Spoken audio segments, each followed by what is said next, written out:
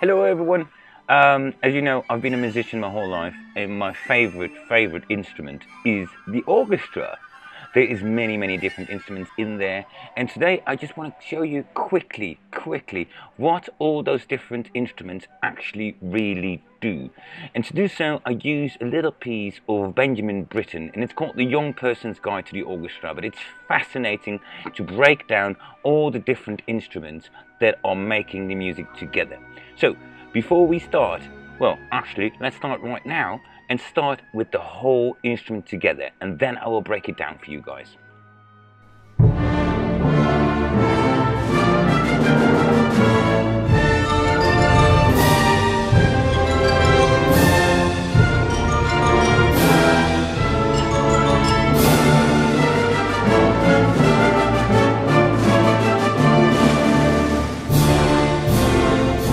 Okay, now let's break it down. So the first part we're going to hear are the woodwinds. So winds are basically all the instruments you blow into. And the woodwinds are the blow instruments made out of wood.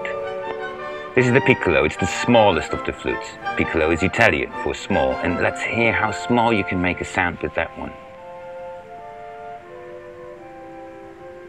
Then we're going to go to the brass section. So brass are trumpets and so they have this raspy voice.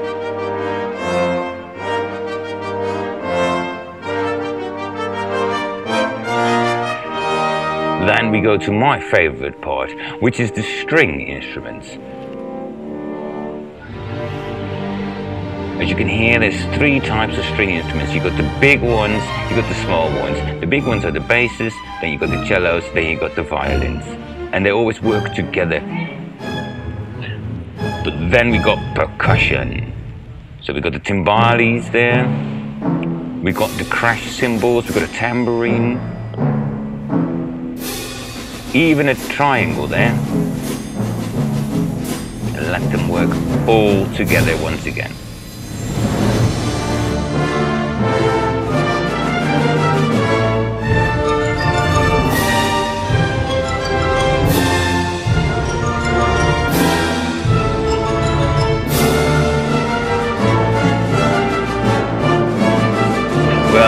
Say, of course, there's a lot more instruments there, and every instrument section has all those sub sub instruments, like I said. So, but now you know the woodwinds, you know the brasses, you know the string instrument, the percussion instruments, and then of course we got the harp. We got so many other instruments making the whole orchestra into one big, big orchestra. Basically, there's the harp. There you go. So, what is your favorite instrument? Please let me know, and one day you will be part of a beautiful orchestra.